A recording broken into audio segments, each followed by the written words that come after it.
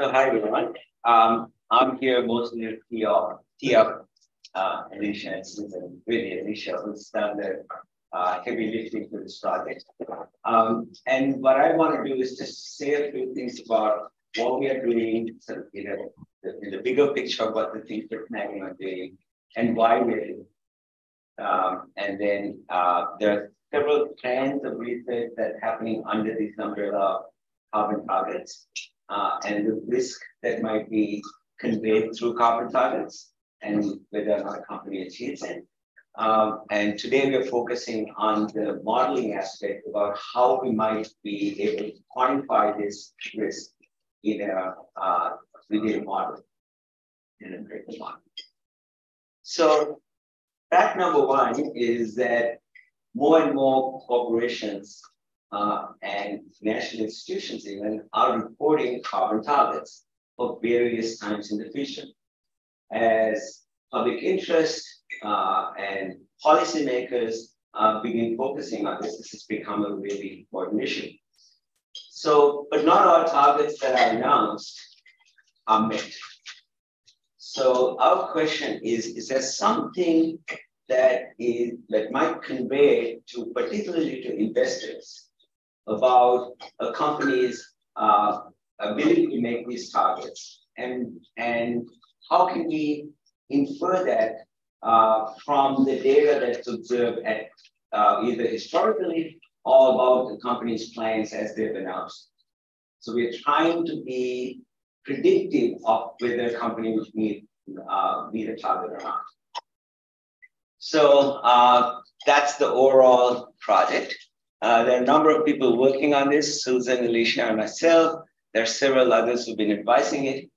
The research project with large uh, has is funded uh, as, uh, by uh, John Straw and Calvert. The funding is invaluable and without that this project wouldn't happen. So thank you, John, and everyone at Calvert. So why are we interested in this? The, the carbon targets are not homogeneous. Some of these targets are voluntary targets that companies announce for the future. They come up with it, perhaps sometimes based on what they can achieve, sometimes based on pressure imposed by uh, various international organizations and policymakers who might say, well, these are the targets that are needed for a company uh, for the world to meet these global standards that, uh, that we are all aspiring. Uh, and so, this is, and others are not voluntary, they're mandatory. They're driven by either a uh, national policy or in some cases a local regulatory policy that might talk about how a particular company or an industry, what their emissions can be. So there are compliance-based mandatory targets and there are voluntary targets. And what we find is that that might, in fact, be one of the driving forces, not surprisingly, about whether or not a company meets these targets. So we, we, as we build the model, that's one of the issues that come up. Now, why are financial institutions and investors interested? Because if they, if a company doesn't meet a target, then there might be financially material ramifications either through fines or penalties that might be attached to that. So not meeting the target is a financial risk to both equity investors and debt holders of the company. Um, but it doesn't have to be necessarily existing uh, regulations or compliance needs. It could be future regulations that might come into play since we're talking about future targets and uh, whether what the company is doing about these targets conveys their ability to meet these future targets. So that, that, that also reflects um, uh, a, a, certain risk uh, element that needs to be incorporated into valuation models. But even if there weren't regulations, there are reputational effects that consumers might be interested in. So that also impacts the valuation of firms. So there are a variety of reasons why all of these standards are important and whether or not they will be uh, needs to into account, be taken into account. Now, we in this data, uh, in this project, has two strands of work, as I mentioned before. One of them is to create a database that includes a variety of existing data sources, but embellish it and augment it with some new data sources that really are more forward looking. Plans that companies have made that they've announced, uh, incentives that they're giving to management, uh, and other such uh, uh information pieces and information about actions that a corporation might be taking. Now that led us to the cho choice of this particular uh, industry that we want to focus on today, which is the electric utility industry, where in fact such plans are well articulated and documented. So we've actually, in our database creation, gone out and gathered that stuff as well. So here's a list of the kinds of data that we've, we've collected to do that. But today, what Alicia is going to talk about is how do we take this data and begin to build a model? And the model looks at the historical period, 10 years of data for 15 electric utilities that have many more targets, even though it's only 15 companies. And we look at these variables and see how these, can we get a, a model that fits the data uh, to understand uh, whether, whether the company's ability to make these targets is, is explained by these data sets. So to put it in perspective, last year we presented some very preliminary results with this data for three utilities, and we came up with these kinds of likelihood estimates, which are really subjective estimates based on what we saw uh, from the data. Today, we're going to take this and formalize this in a model. And that's a, somewhat of a heroic task. So we've made some progress. So in that sense, this is not completed work, and we're looking for your comments uh, to take it further. With that, I'll hand it over to you, Alicia. You can take it.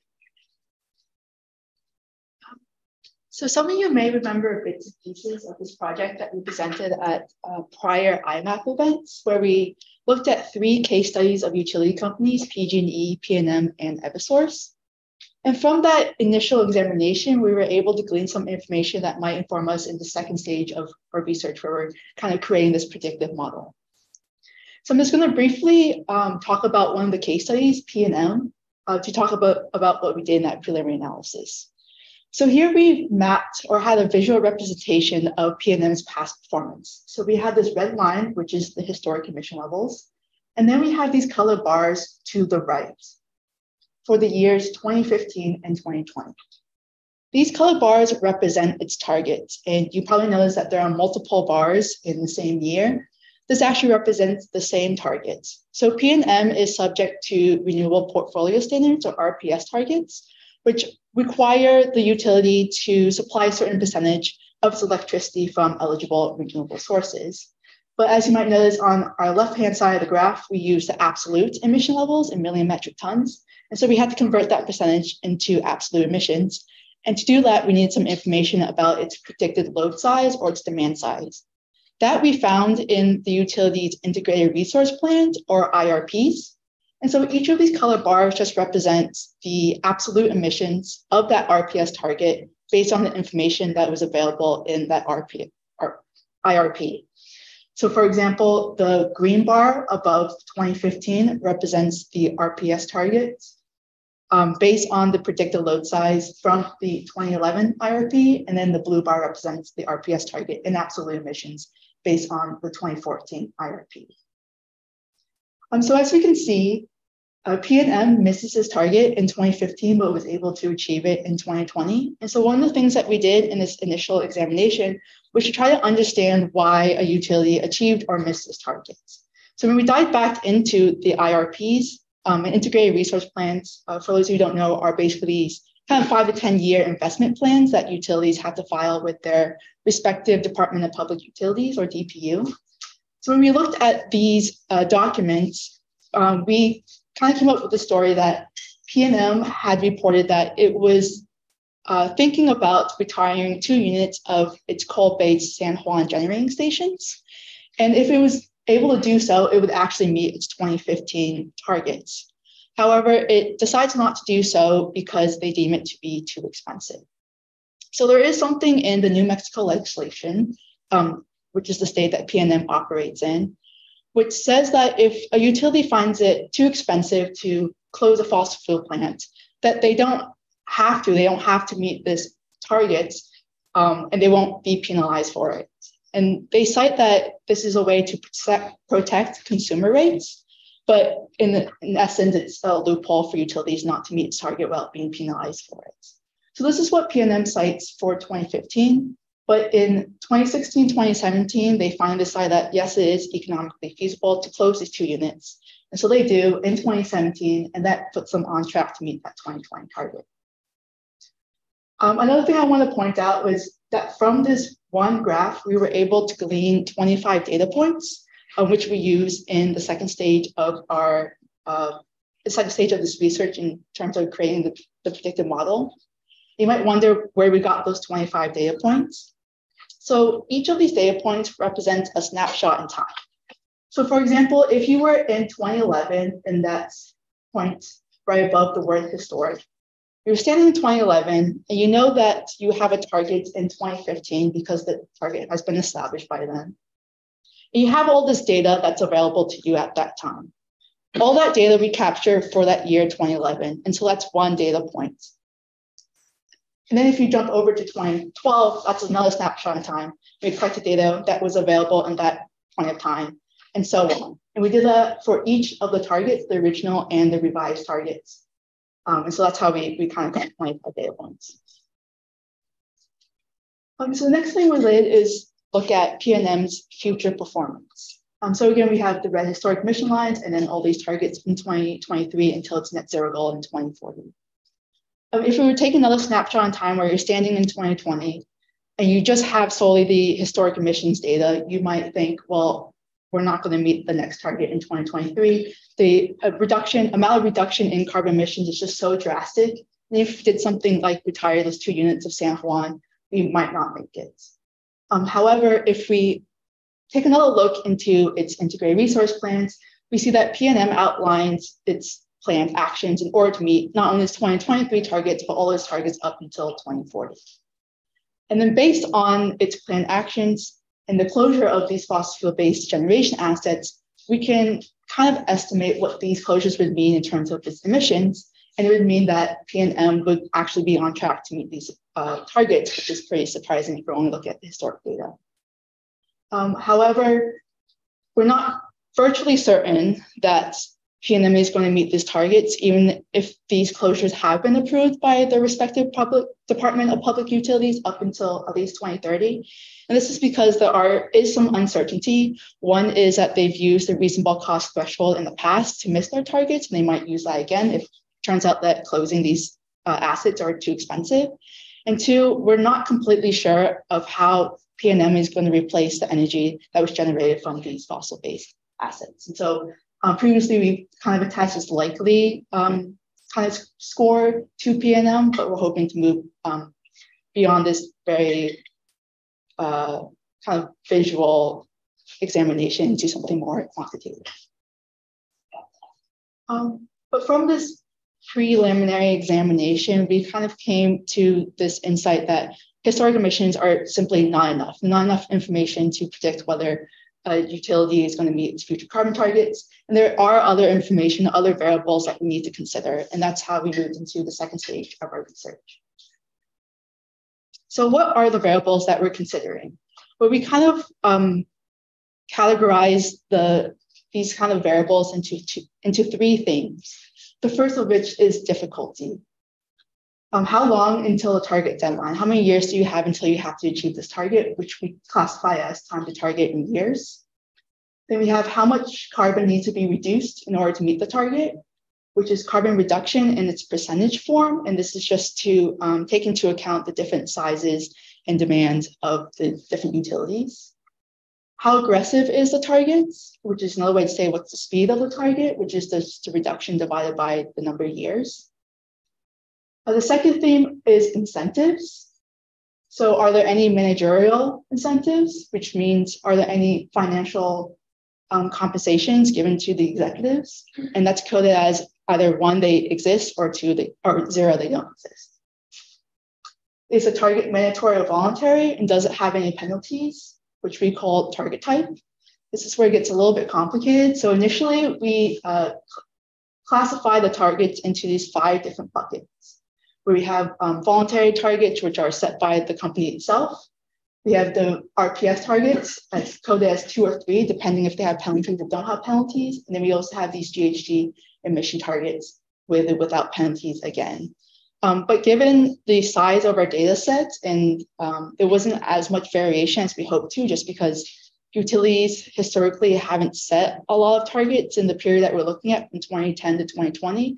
But with the future data set from 2020 up until 2050, there's a whole bunch of targets um, that vary across different categories.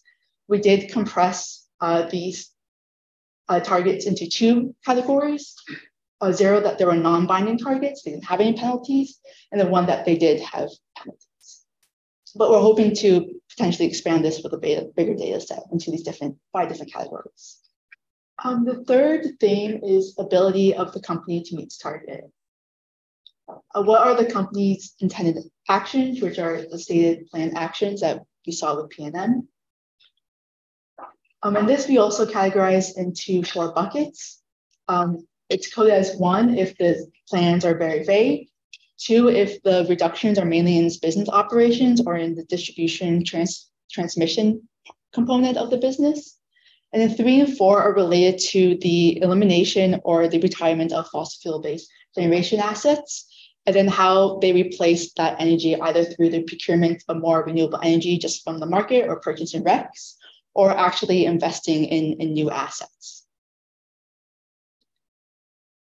And lastly, is the company financially capable to meet its targets? And we evaluate that in two ways with its debt ratio and its credit rating. Of course, there are many entities that spit out credit ratings, um, and there are many different levels of credit ratings, but we decided to use two buckets, whether it's investment grade or non-investment grade. Um, so we ended up looking at 15 utilities that give a good variation across these variables. Um, and from these 15 utilities, we gleaned 98 uh, targets with 551 checkpoints. Um, so this is kind of a, a, small snapshot of what our data set looks like. Um, so on the left-hand column, we have a target, animations, um, where we have the, the year the target was established, and then the year, um, the deadline year, which is 2015 in the first example. Then we have all of these uh, variables that we have mentioned before. And as you might notice, there are, is a combination of continuous variables and then binary or categorical variables. Um, this kind of gets to, I think, Eddie's point earlier. Um, we've also were uh, made sure that with RPS targets, which are, um, I guess, associated with the state and the service within the states, we did recognize that there are utilities that um, operate in multiple states. And so with these RPS targets, um, we made sure to kind of separate or um, I guess divide the emissions on the like the, the holding companies level, which is usually reported in the sustainability reports, um, and then divide that um, among the states that it operates in. Um, so for example, FirstEnergy operates in Ohio amongst other states. And so we kind of carved out their emissions that were from its services in Ohio and then compare that to its RPS target in Ohio. In the case of the historic data we have for utilities, 91% of the targets were achieved. The, the, it's a very small numbers game of what happened to those for whom the target wasn't achieved um, at the moment. So what you see here is just a kind of, you know, uh, Alicia's done the more complex modeling that we'll go back to in a moment. This is just kind of the quick look at the data as we've compiled it. And you see we just have two targets, um, National Grid and OG&E, that are like purely voluntary, where there was no state um, RPS or other mandate associated with it. The rest of our historic data all falls into categories where there is some sort of state law some of which have a financial penalty if you miss it, some of which don't. And so that's what you see here is kind of grouped into those two categories. And then the number of targets each of these utilities had is what's represented in our vertical axis, with green being um, the number of targets that they achieved on time, and the red being the number of targets they didn't achieve on time. So you can see in in general, um, you know, the two voluntary ones were set as easy targets most likely. They knew they could hit them, and they did. If there was no penalty, uh, they were only 81% achieved versus 98 achieved percent achieved when there uh, was a penalty. So we do see that the penalties appear to be significant. Um, again, it's not as large of a data set as we'd like, uh, just because the while there's a lot of future targets today, there's not as many past targets to, to look at so far. We have this one was looking at whether or not there was any sort of financial compensation uh, tied to the target existing for management. And in this case, historically, it was kind of a wash, um, which you know I personally found kind of disappointing, uh, and hope that will be different moving forward. But you can see it was basically 91% either way, whether or not there was some sort of financial target there. Um, my anecdotal observation is I think these are getting stronger moving forward. And so as the level of compensation gets stronger, I think there will be they will become more meaningful and hopefully will drive a difference in target achievement, you know, 2020 and moving forward. But historically in the utilities we looked at, doesn't really show up as meaningful. What is the y-axis show here? Uh, so same as the last graph, the number of targets that each of these utilities had. So some of these targets had annual, um, they had it like for every year they established where they wanted to be. And so that's why you see a, a bigger bar on some of these and other ones just had maybe you know every five years or they had the single target for 2020 that we're looking at. So that's the, the number of targets that they had publicly said, you know, they, they put a milestone out there. This includes the revised targets. Let's say it's in one year, then they revised it. Say they had a target for 2015, then they revised it. Then that counts as a number of targets. Yeah. So yeah, we track both the original targets as well as the revised targets. So you can maybe you met your revised target, but you missed your original target, and we have both of those in here. The planning level is the other one that Alicia and some other students um, helped her put a lot of time into, you know, as she was explaining around PNM, what kind of how much detail is there there? Can we really see why we think they either are going to achieve or not achieve? And so she's categorized each of these into these different, with each of their targets into different buckets of, you know, level one, as I described before, was there is basically no plan. Level and two, three, and four all have different levels of planning associated with, you know, transparency around how are we going to get there. Um, and again, historically, it's, you know, there's not a lot of variation here, um, but that may change moving forward. Uh, but I'll, I'll, turn it back over to Alicia. Spent a lot of time uh, expanding the data set as well as figuring out how to code this very unique uh, information into um, the categories and whatnot. And we've also gone through a lot of iterations of different models from different disciplines that could be useful for our um, question. Um, we've kind of settled on the logistic regression model. Um, we are not married to this model, so if you have any suggestions for alternative models or other ways we can uh, use a logit model, um, we do appreciate that feedback. Um, but we decided for now the logistic regression model because it does spit out this binary outcome, uh, whether in the context of our research, whether the utility achieves or does not achieve a target. And on the right-hand side of that equation, we can have all of these variables. And as I mentioned before, we had a mixture of continuous and um, binary variables. And our uh, the logit model would take that into account and would be um, could be used on that type of variables. Um, and so far we used the logit model or repeated measures logit model. Um, in other words, we use a logit model on panel data. Um, so basically each of the targets are its own individual. And with each of the individuals, we have um, the time series or snapshots in time. So we have PNM, uh, for example, that was established in 2010 with a target year 2015 as its own individual ID1 and all the data that corresponds with its own time series. And then we could have a second individual PNM, which had a target for 2020, also established in 2010, and all of its data um, for that target. So far, we've only run, if you go back, sorry.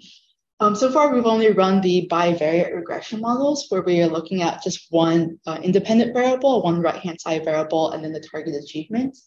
And we found that the target type, so whether it's binding or non-binding, is significant at the 0.05 level, as well as the target aggressiveness, which is the percent per year or the speed of the target, or how much uh, carbon that you need to reduce um, within the years. Uh, we're also interested in looking at the interaction between these variables. And as you can imagine, um, the variables that we've included on the right-hand side of the model um, are somewhat related to each other. And so we're trying to tease out some of the interactions that might be found there. Uh, one that we've kind of teased out is target aggressiveness and then planned actions. Our intuition is that if we need to reduce more um, carbon very quickly, we would need more aggressive plans, i.e. we would need to um, eliminate or retire our fossil fuel-based generation assets and replace them with renewable or cleaner sources. Um, and so we ran that interaction and we did find also that it was significant at the 0.5 level. And we're still trying to tease out some more of those interactions as well. Um, but as we found with the preliminary analysis, uh, historic emissions is not sufficient for predicting future performance. And that was very much based on our like visual inspection. Um, but we do think that with this logit model, we're beginning to kind of tease out the more quantitative support um, for this um, finding. And then we're also trying to uh, tease out the predictive variables, the significant predictive variables um, for the next uh, model. Um, so what's the next step in this research? Well, again, we're still tinkering with this model. Um, and we're also using, planning on using CDP data, um, which would be useful in a couple of ways. One, that it would expand our model across industries and not only specific to the utility sector, even though having a model um, just for the utility sector does capture some information that would be lost if we had a very general model. Um, this data set will also allow us to include some other variables that we just couldn't find in the integrated resource plans and sustainability reports, such as perceptions of risk and the cost of investments or the cost of um, implementing some of the stated planned actions. All right, with that, we would love your feedback.